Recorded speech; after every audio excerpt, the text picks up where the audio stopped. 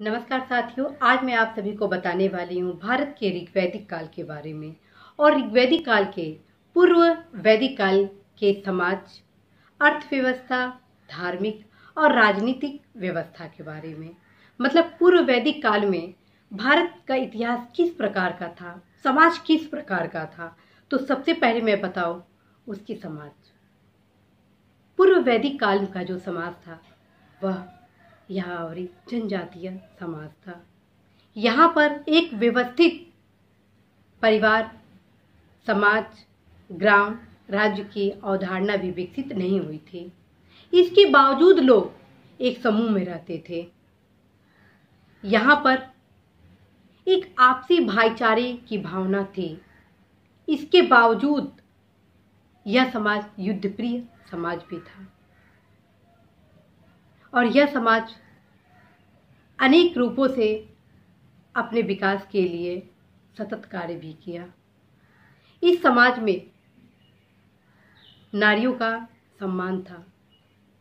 इस समाज में बाल विवाह बालिका वध पर्दा प्रथा आदि जैसी समस्याएँ नहीं थी। नारियाँ भी पुरुषों के समान कार्य करती थी। नारियों को भी सम्मान दिया जाता था। इस समाज में जाति जनजाति के आधार पर अभी समाज बटा हुआ नहीं था। यह समाज एक गौरवपूर्ण समाज के रूप में जाना जाता था, जहाँ पर अभी किसी प्रकार के भेदभाव की समस्या उत्पन्न नहीं हुई थी। इस समाज में कई प्रकार बहुदेववादी देवताओं का पूजा जाता था। चाहे वो अंतरिक्ष के देवता हो, भूमि के देवता हो या वायु के देवता हो। यह समाज यज्ञ प्रिय समाज था। इसके बावजूद बहुत ज़्यादा पशु हिंसा, बलि प्रथा विद्यमान अभी नहीं था। यज्ञ एक वैज्ञानिक रूप से किया जाता था। इस समाज की जो राज्य व्यवस्था थी कि यहाँ पे एक राजा होगा, उसका जो राजस्व का उद्ग्रहण होगा, राजा का क्या नियंत्रण होगा, वो स्पष्ट नहीं है। बावजूद यहाँ का जो राज्य व्यवस्था है वह अद्भुत था, क्योंकि यहाँ पर सभा समिति विद्वत जैसी संस्थाएँ विद्यमान थी, जिनके ज़रिए राज्य व्यवस्था का क्रियान्वयन सकुशल किया जाता था। यहाँ का समाज एक गौरवशाली समाज था, क्योंकि यह एक संतुलित समाज था। यहाँ की जो अर्थव्यवस्था थी, वह मुख्यतः प्राथमिक क्षेत्र से संबंधित थी। यहाँ पर पशुपालन, कृषि का बाहुल्य था। और यह भी देखा जाता था कि नित्य इस समाज ने एक नया प्रयोग किया है। इस नित्य प्रयोग के कारण ही लोहे का आविष्कार हुआ। लोहे के आविष्कार के साथ यह समाज उत्तर वैदिक काल में पहुँचा। यानी अब मैं आपको बताने वाली हूँ, उत्तर वैदिक काल। मतलब लोहे ने किस प्रकार ऋग्वैदिक काल को पूर्व वैदिक काल और उत्तर वैदिक काल में बांट दिया।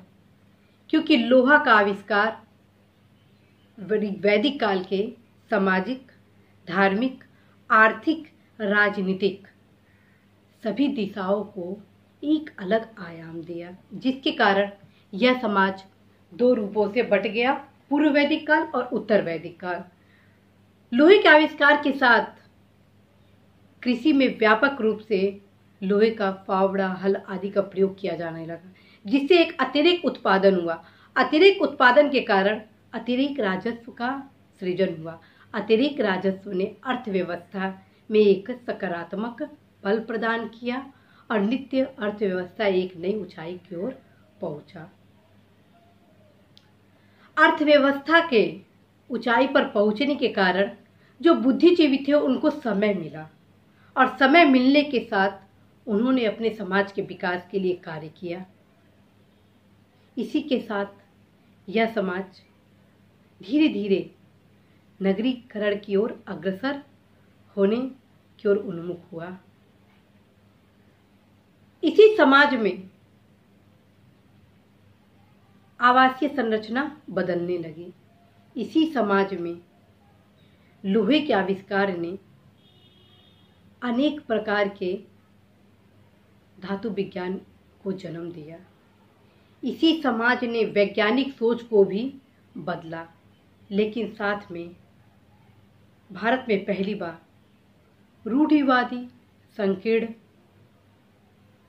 विरासत, जिसे नहीं कहा जा सकता है, जो निंदनीय है, उसका भी जन्म इसी समाज में हुआ। और वह था जाति जनजाति के आधार पर भारतीय समाज का विभाजन। तो वहीं दूसरी तरफ़, देश की आधी आबादी, यानी महिलाओं की भी स्थिति इस समाज में अब दयनीय होना प्रारंभ हुआ। अब नारी को वह अधिकार नहीं मिला जो कि पूर्व उत्तर वैदिक काल में मिल रहा था। अब नारी धीरे धीरे पर्दा प्रथा बालिका वध के साथ साथ अनेक समस्याओं की ओर उन्मुख होती है, जिसके कारण समाज का आधा तबका विकलांग हो गया। और उसके कारण हमारे देश की प्रगति पर एक प्रश्न चिन्ह लग गया। आपको बताना है कि यह जो पल था हम सभी के लिए बहुत ही खास भी रहा, क्योंकि इस समय एक इतिहास बदल रहा था, अर्थव्यवस्था बदल रहा था राज व्यवस्था बदल रहा था, और सभी दिशाएँ बदल रही थी, और समाज की जो संरचनात्मक बदलाव था, वो सब बदल रहा था।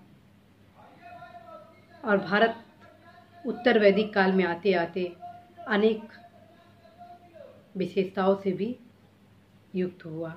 इस प्रकार आज हम जाने किस प्रकार वैदिक काल में भारत उत्तर वैदिक काल और पूर्व वैदिक काल के विभाजन को समेटते हुए सामाजिक, आर्थिक, राजनीतिक, प्रशासनिक, धार्मिक आदि रूप से विकसित हुआ। इसी के साथ मैं सीमा गुप्ता आप सभी से विदा लेती हूँ। नमस्कार, धन्यवाद।